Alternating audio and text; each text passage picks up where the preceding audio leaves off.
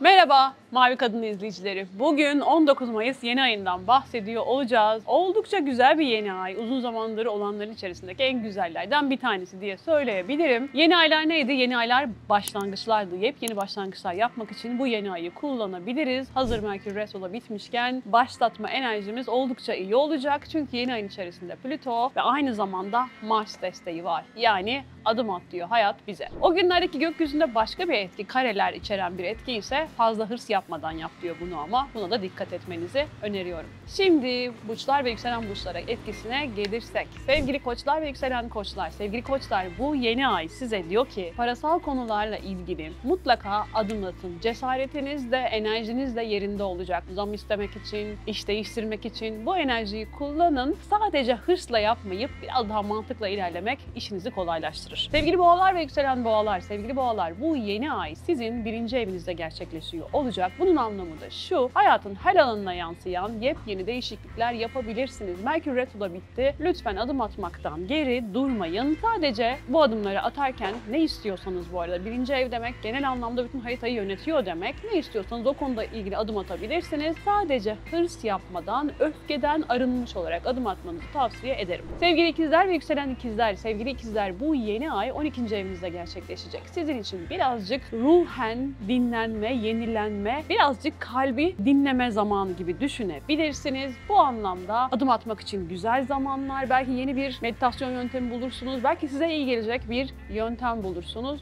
Bunları söyleyebilirim. Sevgili yengeçler ve yükselen yengeçler bu yeni ay size diyor ki kalabalıklara karış, yeni insanlarla tanış ve hayallerinin peşinden koş. Bunu yapacak enerjinde olacak, gücünde olacak. Hatta buralarda yalnız olanlar için iyi bir aday da karşılarına çıkabilir. Sadece yatırımlar konusunda fazla hırslı olmamanızı tavsiye ediyorum. Sevgili aslanlar ve yükselen aslanlar, sevgili aslanlar bu yeni ay kariyer diyor size. Merkür Retrosu da bitti. Adım atmaktan geri durmayın. Zaten 16 Mayıs'la beraber Jüpiter de kariyer evinize geldi. Yürüyün aslanlar. Kariyer anlamında adım atmak için bundan daha iyi bir sene olmayacak. Ama ortaklıklar ilgili, işte ilgili çok hırs yapmadan daha böyle sakin, emin adımlarla ilerlemenizi tavsiye ediyorum. Sevgili Başaklar ve yükselen Başaklar, sevgili Başaklar bu yeni ay diyor ki yurt dışı ile ilgili adımlar at, kariyerle ilgili, akademik kariyerle ilgili adımlar at, eğitimlerle ilgili adımlar at, yeni ve farklı insanlarla tanış. Çünkü bunların hepsi sana eğlence de getirecek, aşk da getirebilir, keyif de getirebilir. Sadece iş konusunu fazla kafana takma. Sevgili teraziler ve yükselen teraziler, sevgili teraziler bu yeni ay diyor ki yatırım yapma zamanı, yatırımlar, her konuda yatırım yapabilirsiniz. Değişim zamanı aynı zamanda. Değişimden korkmayın. Hatta yapabiliyorsanız kariyerinizle ilgili değişimler yapmayı da düşünebilirsiniz. Sadece bu adımları atarken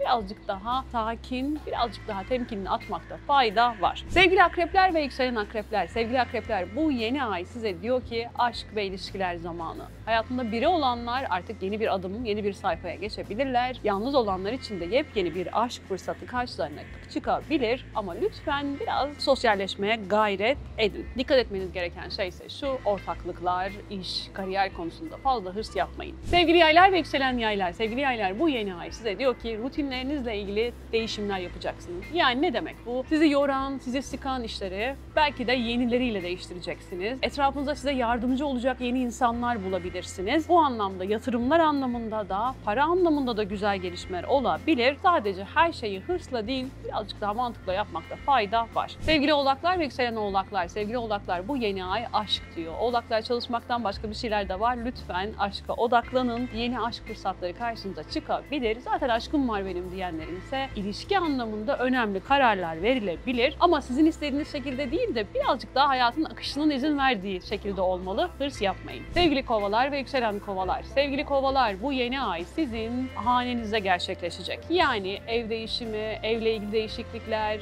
e, ev almak, ev satmak, gayrimenkul yatırımı yapmak bu dönem çok mümkün görünüyor. Sadece bütün adımları atarken aceleyle değil, hırsla değil daha sakin sakin ilerlemek çok daha iyi olacaktır. Sevgili balıklar ve yükselen balıklar, sevgili balıklar bu yeni ay diyor ki artık bırak izin ver kendine. Biraz seyahate çık, yeni bir eğitim al, yeni insanlarla tanış, sosyalleş. Yalnız olanlar aşk karşısında çıkabilir. Bütün bunları yaparken ama hırs yapmadan bazen size zarar veren insanları görüp onları hayatınızdan çıkararak daha akışta kalarak yapmanızı tavsiye ediyorum. Sevgili Mavi Kadın izleyicileri, bu yeni ay oldukça güzel başlangıçlara vesile olacak. Merkür Retrosu'nun bitişi yeniliklere artık adım atabileceğimizi gösteriyor. Umarım hepiniz için çok güzel başlangıçlar olur. Beğenmeyi ve abone olmayı unutmayın. Kendinize çok iyi bakın. Hoşçakalın.